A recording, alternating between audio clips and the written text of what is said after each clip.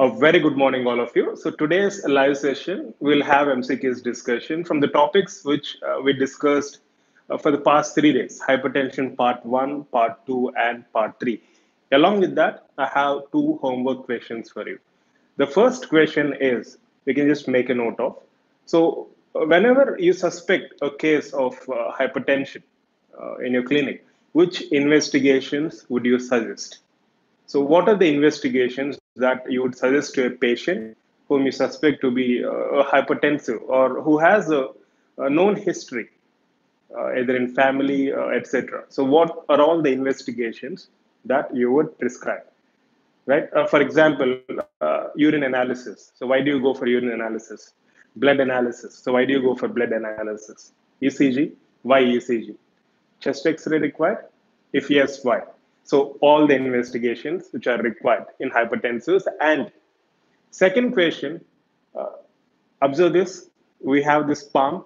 So which part of the palm can be used for feeling pulsations, feeling thrills, and for feeling heaves?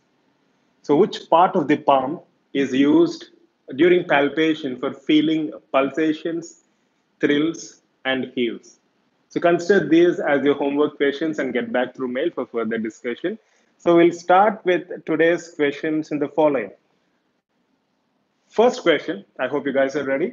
All of the following are etiological factors in hypertension except high sodium intake, lack of exercise, lack of obesity, heavy alcohol consumption. So which one do you think is more appropriate?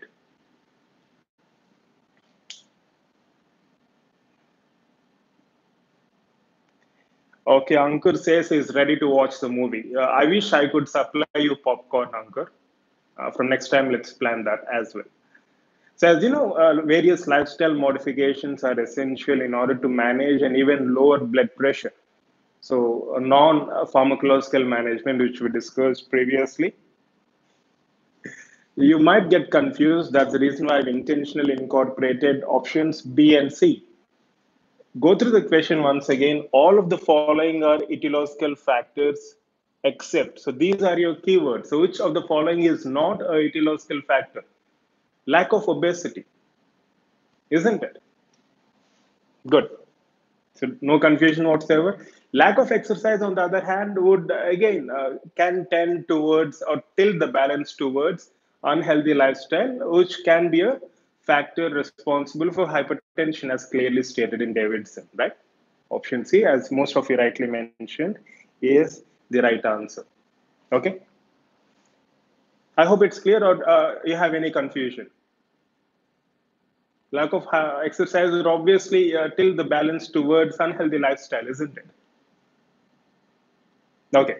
Now, let's move on to the next question when measuring blood pressure, the cuff size, so we have cuff size, uh, medium, large, or universal uh, with varying inches. So which cuff size is selected? Or in other words, when measuring blood pressure, cuff size is selected such that it covers or encompasses. Option A, one third of arm circumference, greater than two thirds of arm circumference, not significant, or only significant in case of obese patients. So which option do you think is more appropriate?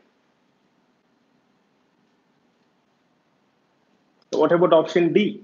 So it can be obese or non-obese individual, but the criteria is very important. The circumference covering or encompassing the circumference of the arm. So more than two thirds, right? So consider this very, very important.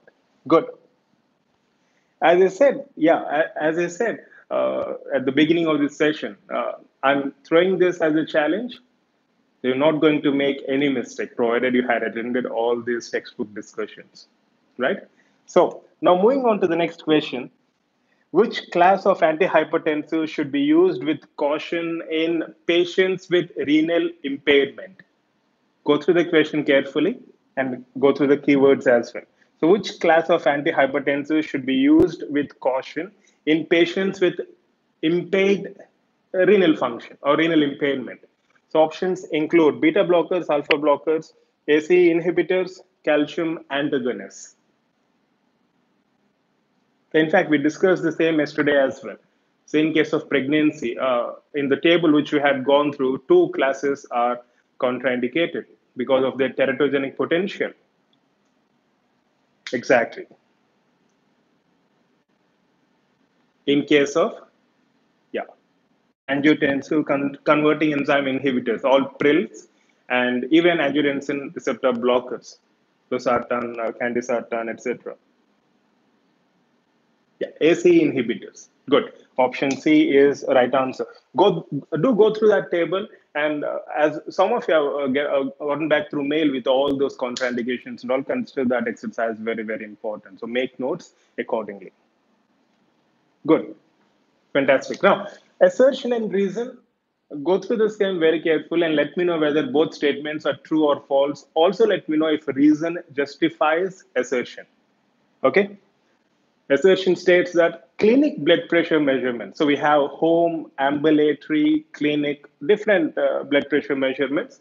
So clinic blood pressure measurements are more closely correlated or they more closely correlate with the evidence of target organ damage than or compared to ambulatory blood pressure measurements.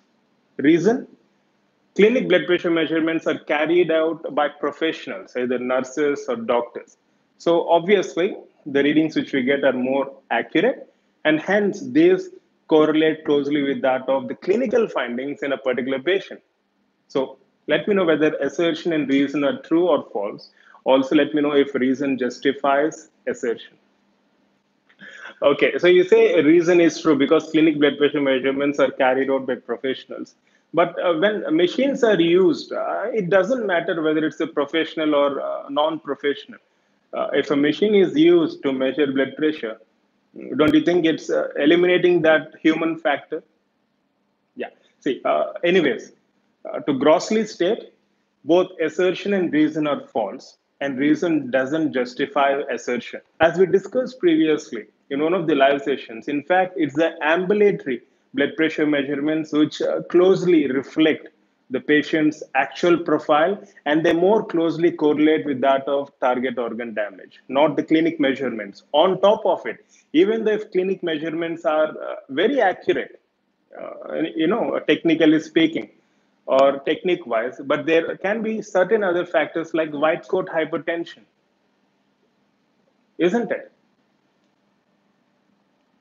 Exactly. What about white coat hypertension? So technique per se, clinic measurements can be accurate. But when we're talking in terms of its ability to correlate with that of patient's actual uh, blood profile or blood pressure profile, we can consider that as a false statement. There's nothing to do with professionals because we have machines which obviously have eliminated the human need of uh, checking blood pressure, isn't it? So both assertion and reason are false, and reason doesn't justify assertion.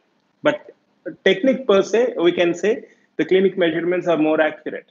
In fact, the very same has been mentioned in Davidson as well, right? I hope you're convinced.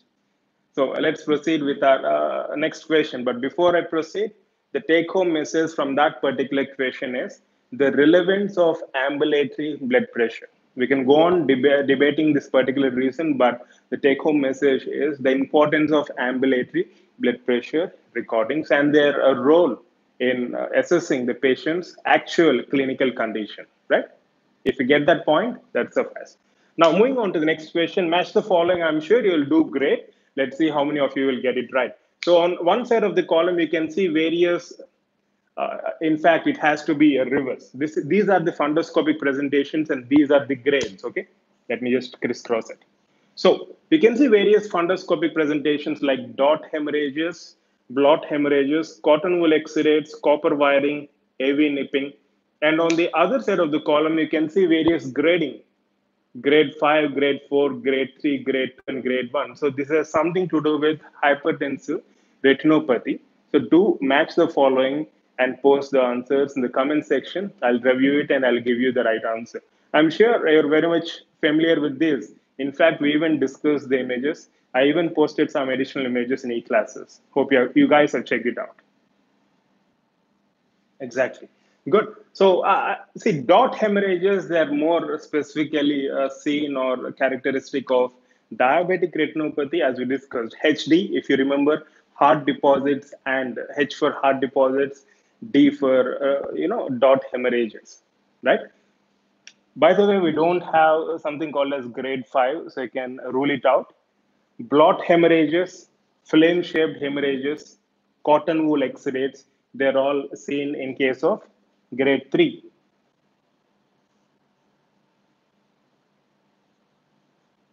What about copper wiring, uh, silver wiring appearance, arteriolar thickening, and the appearance accordingly? So copper wiring or silver wiring, grade 1. What about arteriovenous nipping? So at the point of intersection. So there will be constriction of venules in case of grade 2. So with each grade, you will see the previous changes along with additional changes. Like in grade 3, you will find the changes associated with grade 2 and uh, flame-shaped hemorrhages and so on. And in grade 4, you see papilledema along with the grade 3 changes. So uh, it's like cumulative. So I'm sure you guys are aware of that, right? Yeah, dot hemorrhages, uh, diabetic nephropathy, blot hemorrhages, hypertensive retinopathy. Yeah, you can rule out grade 5. Good. Now, let's move on to the final question. Which of the following antihypertensives are contraindicated in pregnancy? Yeah, uh, one second. Uh, what was this question? Did we miss out this question? Okay, okay, fine. I think we covered this, right? Yeah. So, which of the following antihypertensives are contraindicated in pregnancy? Uh, beta blockers, diuretics, ACE inhibitors, and I'm sorry, because of space constraints, I have to write this uh, in this direction. So, angiotensin receptor blockers. So, which of the following antihypertensives are contraindicated in pregnancy? Beta blockers, diuretics, ACE inhibitors, and angiotensin receptor blockers. So, which one do you think are more appropriate? So, as you can see in the table, uh, which is presented in Davidson. So, ACE inhibitors as well as angiotensin receptor blockers, they are contraindicated in case of pregnancy. So teratogenic potential, we already discussed that in our e-classes, right? So uh, very good. Now, as I said, we have certain homework questions. The first question being, what are the investigations in hypertensives that you would uh, advise? And second question, which part of the hand is used for feeling pulsations, thrills, heaving? We discussed about apical heaving. And also, some of you uh, got back with grading of parasternal heaving. So, really appreciate your enthusiasm. And coming to today's homework, so most of you have replied with your toothpaste composition. It's quite interesting that some of you are even using non-fluoridated toothpaste. I was really surprised. I took it for granted and I assumed that everyone would have fluoride in their toothpaste, but that's not the case. And the fluoride composition, if you observe, it's clearly mentioned as a maximum of around 1000 ppm. And none of you reported with triclosan, but triclosan antibacterial is also incorporated in certain uh, toothpaste. The reason why I was talking about triclosan is while discussing suture materials Vicryl Plus. So Vicryl Plus contains antibacterial substance, which is nothing but triclosan, right? And also uh, you come up with detailed composition along with their respective functions, which is really appreciable. And what was the second question I gave you yesterday? I asked you to note down the medications which uh, your family members are taking, if any, pertaining to antihypertensive drugs. So I'm sure you have gone through the same. I'm sure you have checked their oral cavities for any side effects, if at all they're using amlodipine and all. So once you get familiarized with the practicality, once you know what's happening within your home, you'll, you'll not feel that as foreign. You'll not have that apprehension. So that was the intention behind that particular homework. So I'm glad you guys have done it. If you haven't, you can and you can get back through mail for any further queries or assistance. Okay? Yeah, very good. So we'll try to summarize all that we have discussed so far. And the reason why I wanted to have this particular MCQs discussion is to allow you understand the very fact that once you have standard references, there is no way that you'll be making any mistakes. And along with that, we also discussed about the blood pressure values do follow the ones given by British Hypertension Society as well as the values given by American Heart Association. memorize the same and get familiarized. Okay. So when you have a textbook discussion, when you review literature from standard textbooks, you'll have enhanced confidence and uh, there is no chance of uh, committing any mistakes right? Speed and accuracy will be made possible. So these are some of the topics which i wanted to highlight. So do spend around 30 to 40 minutes to comprehensively make notes of all the previous discussions which we had and it hardly takes another 5 to 10 minutes for you to revise the entire content. That's it right so as you can see the etiological factors implicated in hypertension include all of the following except lack of obesity is in fact a good sign. So when measuring blood pressure, cuff size is selected so that it covers, especially critical in uh, obese individuals, it has to cover a minimum or a more than two thirds of their arm circumference. Pertaining to drugs, so antihypertensives, should be uh, used with caution in renal impairment, ACE inhibitors, and uh, blockers because they uh, decrease the filtration pressure in case of glomerulus, right? They can, in fact, uh, further worsen uh, renal, renal function. So assertion and reason, we try to understand the significance of ambulatory and clinic measurements and various factors which could affect these readings, including white coat hypertension. And matching uh, ret- uh, hypertensive retinopathy, consider all these fundoscopic findings very, very important. Get familiarized, and the best way to remember them is to observe the images, right? Silver wiring, copper wiring, flame-shaped hemorrhages, cotton wool exudates, etc. Okay, and finally, which of the following antihypertensives are contraindicated in pregnancy? Check out teratogenic uh, potential drugs. We have separate tables for the same. Make a note of them and get familiarized. And also, uh, the same has been mentioned in drug interactions. And once you get familiar, even if you don't remember, it's absolutely fine. But the important thing is that you should get familiarized with the same because it doesn't dent your confidence. Okay. So I hope uh, it's clear. And I hope you learned something about hypertension and its related aspects. And you have any questions anytime, you can always get back through mail 24 by 7. So wish you all the best. Love you all. And tomorrow we'll be having a slight change in our timings. So I have some emergency work to attend. Uh, so I'll let you know the timings uh, tonight or tomorrow itself. Okay. So there will be a change in timings for sure. Um, I'll definitely get back to you through updates through. Okay. Yeah. Uh, in fact, one of the students was asking me like, uh, it's taking so much time to review textbook, make notes, and all. See, uh, hypertension management, investigations, the other related aspects, we might have spent around two to three hours. I mean, overall, for the past uh, three days or four days, we spent around two to three hours since I was taking up the discussion, I spent some uh, two to three hours. But if you start, uh, if you start going through the same, uh, it takes around uh, one to two hours. You make notes another one to two hours, let's say, assume. So you'll be investing some three to four hours towards this entire exercise. But you know how much time does it take to actually complete this topic during revision phase? As I mentioned previously, matter of five to 10 minutes. So whatever time you're spending now is only investment it's not waste of time right? Uh, once you understand this once you get that in your mind you'll not have any fear or apprehension. Or else you will be under assumption that this is all waste of time. Let me just mug up all the information given in some ready-made notes you will remember for today maybe for tomorrow but you'll never get the concepts and you'll never get familiarized with the related information uh, that's being presented in some ready-made customized notes. So don't buy such strategies. Okay. So, uh, anyways, so wish you all a great day and love you all. We are lucky we have part today. So uh, hopefully tomorrow we can have our session as usual, but I'll update you with the timings. Okay.